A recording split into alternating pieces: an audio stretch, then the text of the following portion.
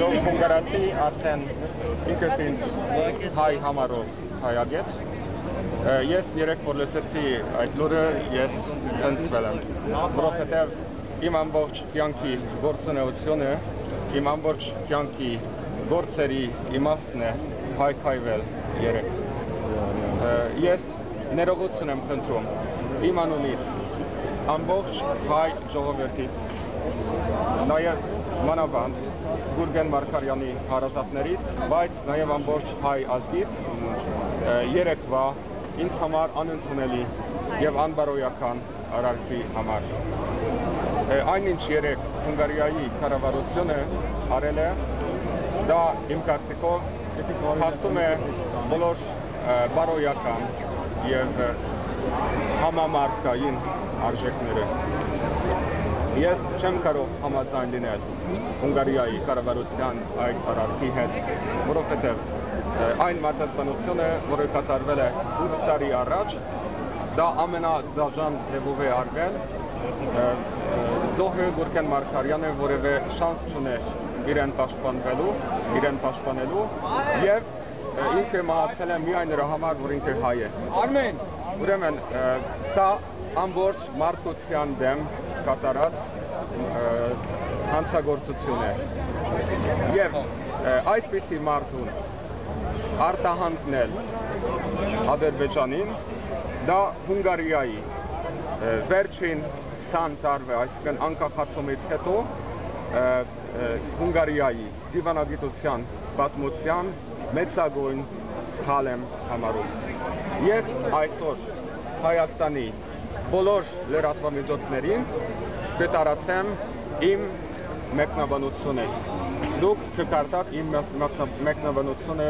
մանրամասնորեն, թե ես ինչ եմ կարծում այս արարքի վերաբերյալ։ Իսկ եթե հիմա հարցեր ունեք, խնդրեմ։ Ձեր անունը նորից կասեք։ Իմ անունը Բենեդեկտ Ժիգմոնդ է։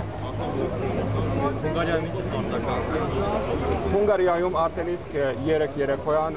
մեծ վերդմունք է տեղի ունեցել։ Հունգարիայի բոլոր լրատվամիջոցները արդեն իսկ, այսինքն արդեն 3 երեկոյան գրում էին դրա մասին, կան կառավարամետ լրատվամիջոցներ, որոնք ընդարձակոդված են նվիրել այդ հարցին, իսկ կան անկախ լրատվամիջոցներ, որոնք որպես գլխավոր հոդված են ներկայացրել կատարածները եւ նաեւ հոդվածաշար են նվիրել Սերժ Սարգսյանի երեկվա ելույթի ամբողջ տեքստը թարգմանվել է հունգարերեն եւ հրատարակվել է երեք Հունգարիայի լրատվամիջոցներում։ Ես մի քիչ հետ կկաշի։ Պաշտոնական արձագանքը մինչև այս առավոտը ինչքան գիտեմ չկար, Բացի դրանից, որ արդեն հայտնի է, այսինքն արգոտ նախարարության կայքեջում, որ երեք արդեն հայտնի էր, իսկ Հունգարիայի նախկին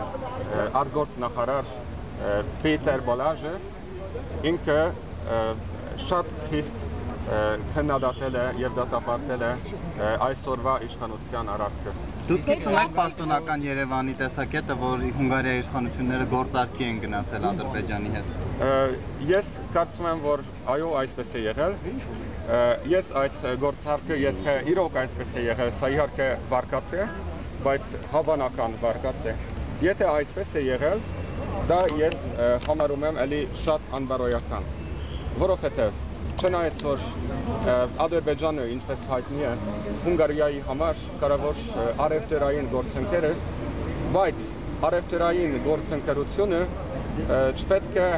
գերազանցի համամարտկային արժեքները։ Չպետք է հայ ազգը անտեսվի։ Ուրեմն չպետք է զոհվի Հունգարիայի եւ Հայաստանի միջև հարաբերությունը որը իդեպ նշեմ ձեզ, որ հազար տարեկան է։ Ես ձեզ կասեմ, որ Հունգարիայի ժողովուրդը դատապարտում է կառավարության արարքը։ Հիմա Facebook-ում